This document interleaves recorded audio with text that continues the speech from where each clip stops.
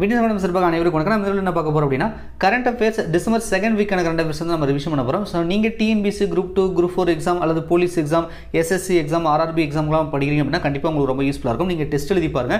இப்போ பார்த்து கொண்டிருக்கக்கூடிய இந்த கொஸ்டின் பேப்பருக்கான பிடிஎஃப் லிங்க் இந்த வீடியோட டிஸ்கிரிப்ஷனில் அட்டாச் பண்ணியிருக்கேன் நீங்கள் டவுன்லோட் பண்ணி டெஸ்ட் எழுதிட்டு அதுக்கப்புறம் வீடியோ பார்த்தீங்கன்னா கண்டிப்பாக உங்களுக்கு ரொம்ப யூஸ்ஃபுல்லாக இருக்கும். ரிவிஷன் பண்ண மாதிரி இருக்கும்.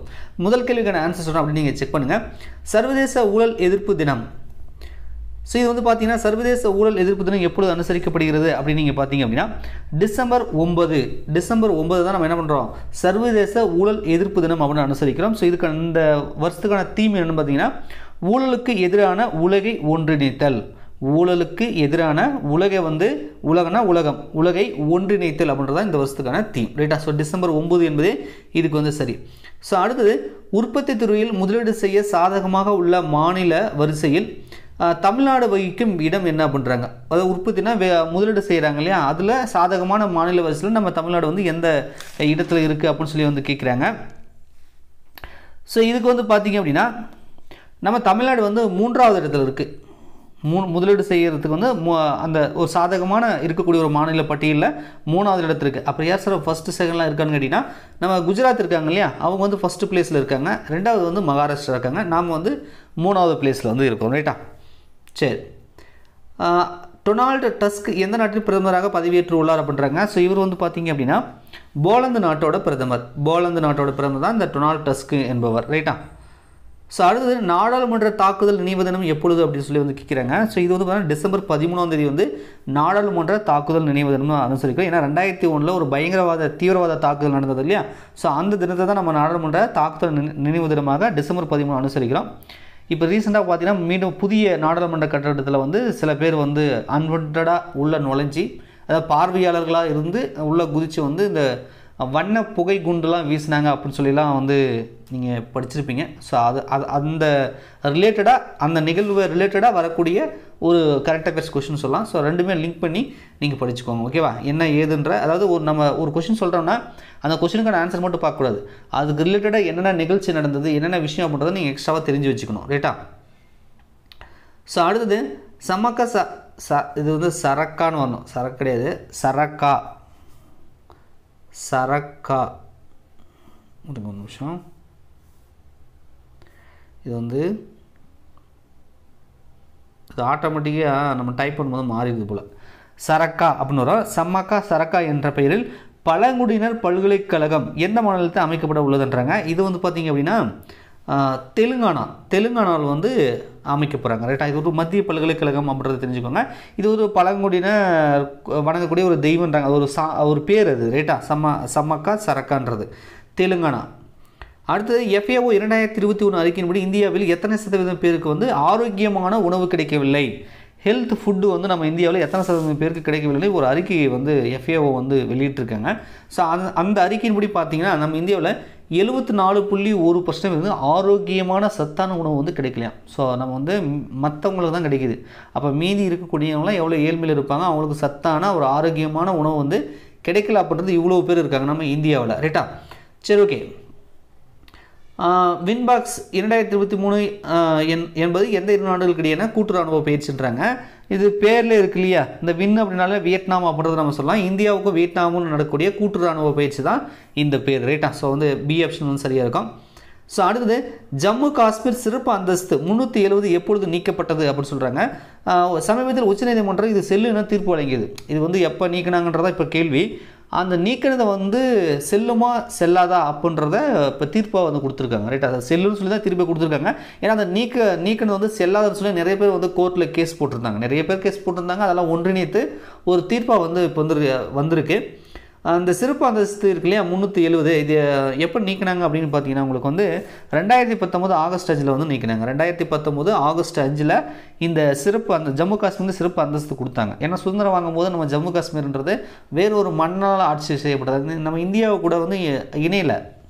பாகிஸ்தான் வேற நம்ம இந்தியா வேற ஜம்மு காஷ்மீர் வேறையாக இருந்தது. அதுக்கப்புறம் சில இஷ்யூலாம் நீங்கள் படிச்சிருப்பீங்க ஹிஸ்ட்ரியில் பாகிஸ்தான் வந்து சில போர் தொடுத்ததாகவும் சண்டை போட்டதாகவும் ஸோ இந்தியாவுக்கிட்ட அந்த மன்னர் வந்து ஹெல்ப் கேட்டு அதுக்கப்புறம் சில கண்டிஷன் டேர்ம் சில கண்டிஷன்னால வந்து நம்ம இந்தியா கூட வந்து நான் இணைஞ்சுக்கிறேன் அப்படின்னு சொல்லி கொடுத்ததுனால அந்த கண்டிஷனில் வந்து இந்த மாதிரி ஒரு சிறப்பு அந்தஸ்து வந்து ஜம்மு காஷ்மீருக்கு வந்து சில இதெல்லாம் வந்து கொடுத்துருந்தாங்க ரைட்டா ஸோ அந்த சிறப்பு அந்தஸ்தை வந்து இப்போ இருக்கக்கூடிய கவர்மெண்ட் வந்து நீக்கிட்டாங்க. எப்போ?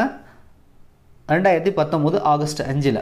ஸோ அது எது அதை எதிர்த்து தான் வந்து உச்சநீதிமன்றத்தில் அந்த கேஸ் போட்டாங்க. அந்த கேஸில் வந்து உச்சநீதிமன்றம் வந்து அதை நீக்கினது செல்லு தான் அப்படின்னு சொல்லி வந்து தீர்ப்பு கொடுத்துட்டாங்க ரைட்டா ஸோ அந்த தீர்ப்பில் இன்னொரு விஷயம் என்ன அப்படின்னா அப்போ வந்து ரெண்டு யூனியன் பிரதேசமாக பிரித்தாங்க இல்லையா? நீக்கினது மட்டும் இல்லாமல் ஜம்மு காஷ்மீர் லடாக்கா ரெண்டு யூனியன் பிரதேசமாக பிரிச்சுட்டாங்க.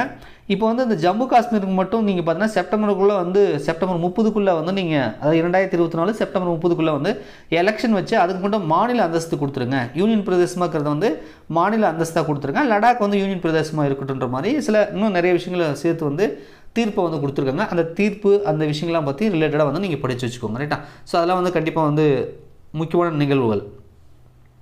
ஸோ மகாகவி பாரதியார் நூற்றி நாற்பத்தி ரெண்டாவது பிறந்த தினம் எப்பொழுது அனுசரிக்கப்படுகிறது அப்படின்னு சொல்லி வந்து கேட்குறாங்க ஸோ இது வந்து பார்த்திங்க அப்படின்னா டிசம்பர் பதினொன்று டிசம்பர் பதினொன்று அவர் பிறந்தது ரைட்டா சரி இவர் எங்கே பிறந்தார்? இதெல்லாம் வந்து சின்ன வயசில் நீங்கள் படிச்சிருவீங்க அடிக்கடி டிஎன்பிசியில் மெட்ராஸ் ஹைகோர்ட் வந்து ஒரு சின்ன சின்ன எக்ஸாம்லாம் வந்து கேட்குறது உண்டு.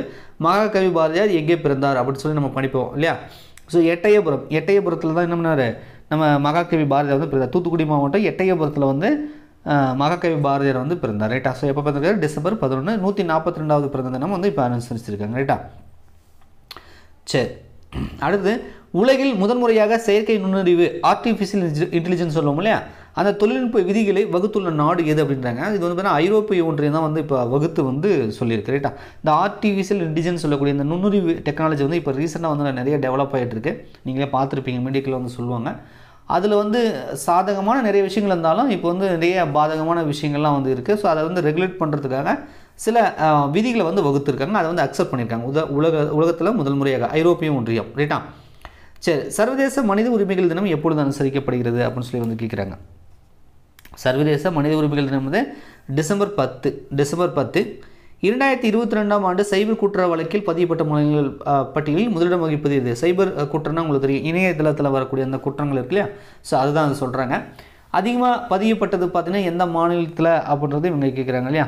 ஸோ இது வந்து பார்த்தீங்கன்னா ஃபஸ்ட்டு இதில் தெலுங்கானாவில் தான் அதிகமாக சைபர் குற்ற வழக்குகள் வந்து அதிகமாக பதிவே இருக்குது ரெண்டாவது வந்து கர்நாடகா மூணாவது வந்து உத்தரப்பிரதேசம் வந்து இருக்குது. இது ஃபஸ்ட்டு இது செகண்ட் இது தேர்டு ரைட்டா விஜய் திவாஸ் தினம் விஜய் திவாஸ் தினம். அது வந்து டிசம்பர் பதினாறாம் தேதி வந்து நம்ம அனுசரிக்கிறோம். இது வந்து ஆயிரத்தி தொள்ளாயிரத்தி எழுபத்தி ஒன்றில் பாகிஸ்தானுக்கு எதிராக வந்து நடைபெற்ற போரில் வந்து இந்தியா வந்து வெற்றி பெற்றது. இந்த வங்கதேசம் உருவாச்சுன்னு சொல்லுவோம் இல்லையா? ஸோ அந்த போர் அந்த பாகிஸ்தானோட நம்ம வெற்றி பெற்றதுனால அந்த நாளை வந்து விஜய் திவாஸ் டே அப்படின்ற மாதிரி சொல்கிறாங்க இது வந்து டிசம்பர் பதினாறாம் தேதி வந்து அனுசரிக்கிறோம்.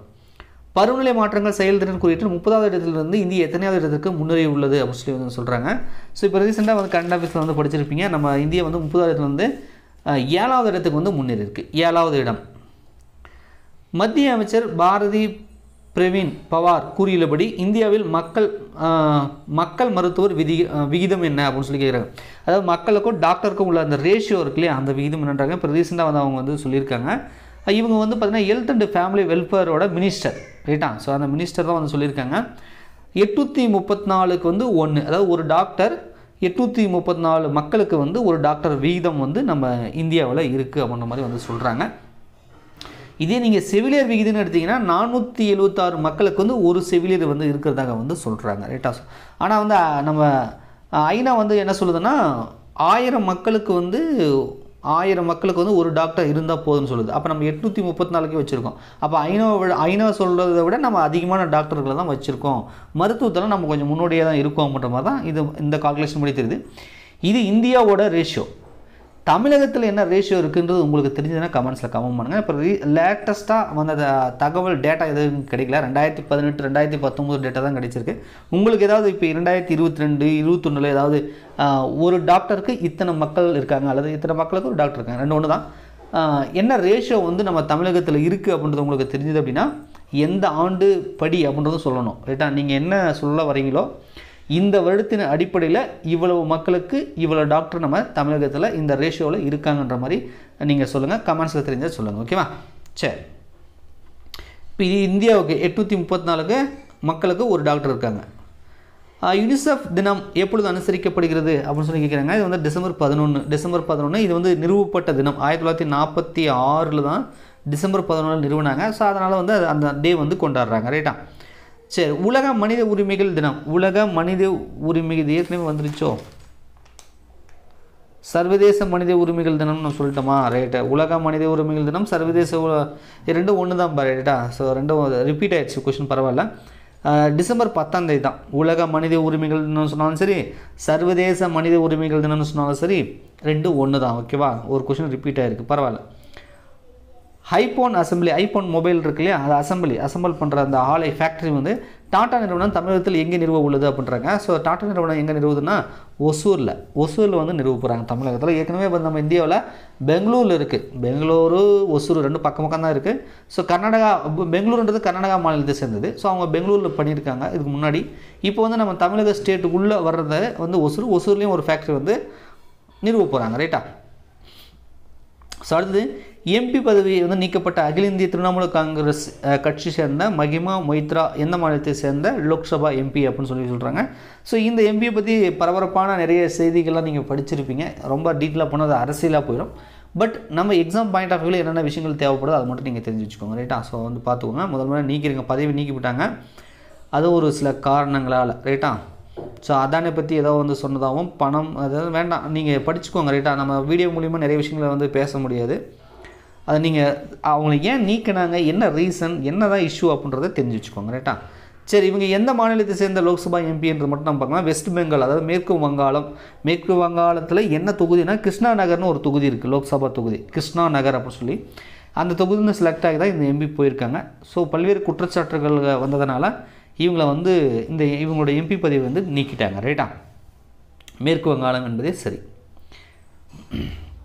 கடைசிகளில் உங்களுக்கான கேள்வி நான் ஏற்கனவே கேட்டுட்டேன். தமிழகத்தில் வந்து மக்கள் ரேஷியோ ரேஷியோ மருத்துவ மக்களுக்கும் மருத்துவருக்கும் இடையே உள்ள அந்த ரேஷியோ சமீபத்திய டேட்டா படி எவ்வளவு அப்படின்னு சொல்லி வந்து கேட்டிருந்தேன். உங்களுக்கு ஏதாவது டேட்டா கிடைச்சது நீங்கள் எங்கேயாவது படிச்சிருந்தீங்கன்னா மறக்காமல் கமெண்ட்ஸில் கமெண்ட் பண்ணுங்கள் வீடியோ பிடிச்ச மறக்காமல் லைக் பண்ணுங்கள் இந்த பிடிஎஃப் உங்களுக்கு தேவைப்பட்டுச்சு அப்படின்னா மறக்காமல் டவுன்லோட் பண்ணிக்கோங்க. டிஸ்கிரிப்ஷனில் அதுக்கான பிடிஎஃப் லிங்க் இருக்குது ஓகேவா நன்றி வணக்கம்.